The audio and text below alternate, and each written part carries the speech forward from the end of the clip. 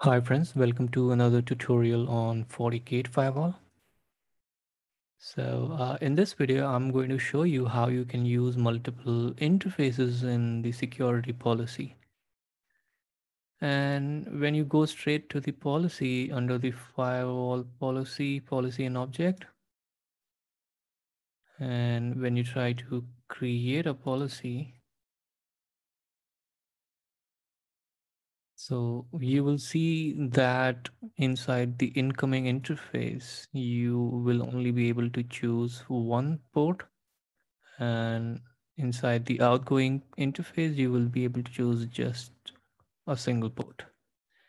And it makes it difficult because if you are having a scenario where you have traffic coming from multiple ports onto the firewall and you know you have multiple exit interface and it creates and it, it creates a lot of uh, issues while you know deploying the policy because you will have to create multiple uh, policies from each single ingress interface to the egress interface. Well to solve this issue so that you can have a single policy with multiple interfaces inside the incoming and the outgoing interface. Well, the FortiGate have introduced a feature which you can see it inside the feature visibility and you can click on this option, multiple interface policies. So once you apply that, and when you try to go back to the firewall policy, and then try to create the policy. Let's take it as a test. Now you can see that it is giving me a plus option, which means I can add another port. And for the outgoing, I can do the same thing. You can see here.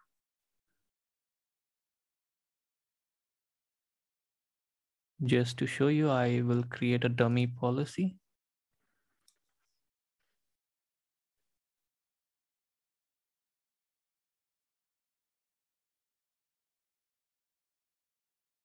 So you can see here, I have created a test policy with multiple ingress interface and I can do the same for the egress interface as well.